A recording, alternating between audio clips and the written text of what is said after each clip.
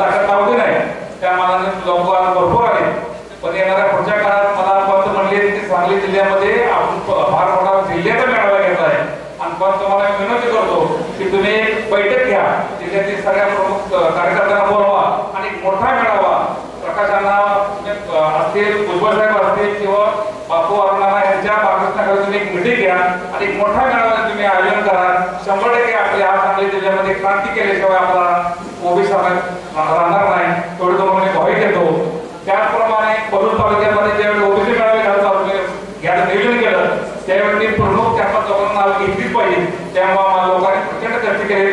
त्यात आपले शिरसाट असतील ते प्रशांत लेकर साहेब असतील आमचे महेश कुमार साहेब असतील कुमार साहेब असतील आमचे समाज बांधव प्रमुख प्रमुखांचे असतील त्याचबरोबर प्रकाशांना असतील त्या सर्व लोकांनी प्रचंड चर्चा केलं. ही सगळी अं, जोडणी घालण्यासाठी कारण त्यांचं मी आ- आ- आभार व्यक्त करतो आणि मी फक्त एकच सांगतो मी टेक्निकल गोष्टीत न जाता ओबीसीच्या. मी गेले चार पाच वर्ष ह्या संघटनेत काम करतो ह्या चळवळीत काम करतो आणि ह्या चळवळीत काम करत असताना ईशाला शंभर टक्के चाल लागते पण मला का नसतं. असं वाटतं की समाजाचं बनवावं म्हणून मी काम करतो. मला सगळ्या पक्षाची ऑफर आहे.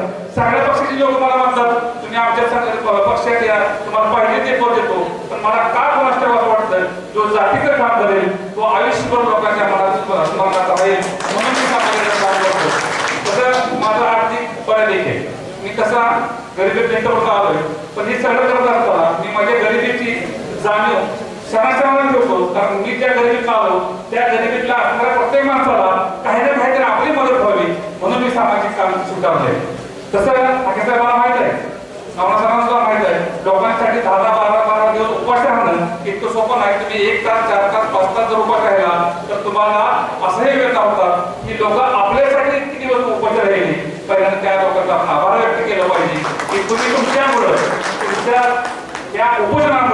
आज सरकारला सुद्धा बॅकफुटला जावं लागलं लागलं. कारण का? तेव्हा तुम्ही बसायच्या अगोदर दोन तीन दिवसापूर्वी डेप्युटी सीएमचं एक वाक्य आलं की सगळे सोडीच्या निर्णयाच्या निर्णयाच्या बाबतीत आम्ही ओबीसी नेत्यांना विरोध निर्णय घेऊ.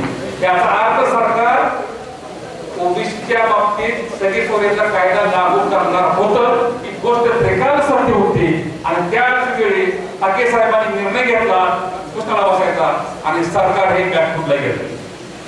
म्हणून तुम्हाला मी सांगतो हे बघा आपलं राजकीय रक्षण करणं म्हणजे तुमचा आमच्या अस्तित्व संपणं आपल्या गाववाड्याला म्हणून ग्रामपंचायत सदस्य दिसतोय पंचायत सदस्य दिसतोय सभापती दिसतोय जिल्हावर सदस्य दिसतोय हे फक्त आरक्षणामध्ये दिसतोय आणि हे आरक्षण आपल्याला मिळालं एकोणीशे चौऱ्याण्णव साली. म्हणजे दोन हजार वर्ष गेली आपल्याला हे आरक्षण मिळण्यासाठी आणि दोन हजार हजार वर्षानंतर मिळालेलं आरक्षण. हे तीस वर्षात सरकार करावे होते म्हणजे. कारण त्यांना आता कळून चुकले हा समाज जागा आहे. शंभर मधला साठ टक्के समाज आपला आहे. उद्या ह्या भविष्यात ह्या सत्ता केंद्रात हा समाज जाऊन बसला. तर आपल्याला काही खरं नाही. म्हणून ह्या समाजाचं राजकीय आरक्षण काढवायचं म्हणजे तुम्हाला जी योग्य प्रतिष्ठा आहे. ती प्रतिष्ठा तर संपून जाणार आहे. मग तुम्हाला मी एकच उदाहरण देईन. एका जंगलामध्ये शेळीचा कळप होता त्या शेळीच्या कळपामध्ये शेळ्या गावात जंगलात फिरत असतात त्या कळपामध्ये एक वाघाने पिल्लू पकडला जातो ते वाघाने पिल्लूला काही शिकार करण्यास माहिती नसतो तो लहान असतो. पण ते बछडं त्या शेळीच्या पिल्लातच फिरायला लागतं आणि त्यांच्यातच ती मोठं व्हायला लागतं.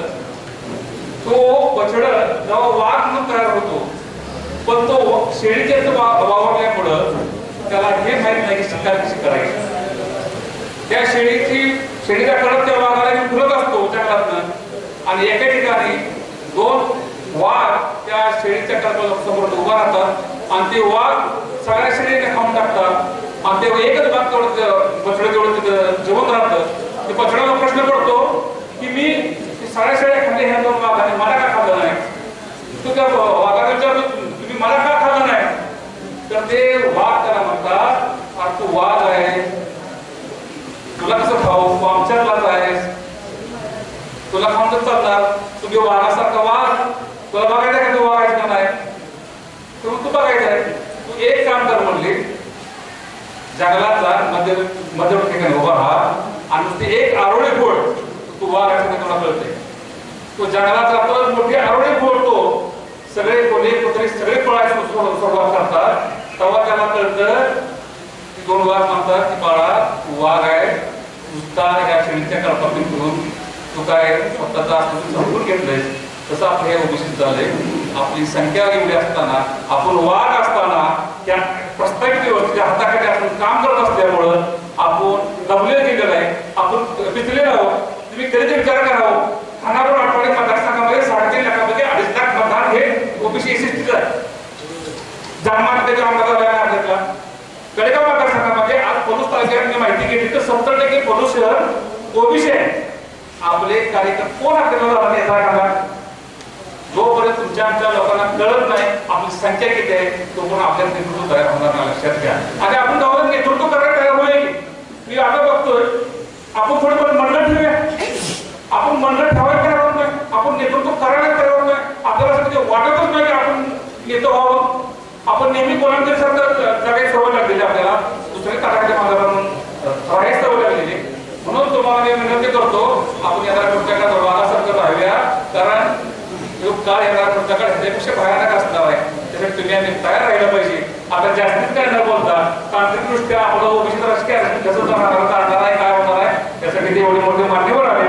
त्या सगळ्या मान्यवरांना मी एवढंच सांगतो या लोकांचे जे कान आहे ते डोके आहेत जरा तुम्ही ब्रश करा जरा. कारण गरज आहे या गोष्टीची. कारण आपल्या लोकांना आपली ताकद कळत ना म्हणून तुम्हाला माझी विनंती राहील की तुम्ही येणाऱ्या पुढच्या काळात बापू बापू सांगतीलच पुढच्या काळात काय करावं लागेल? कुठल्यापर्यंत जावं लागेल? एवढे एवढंच बोलतो जास्त थांबतो जय जय महाराज यानंतर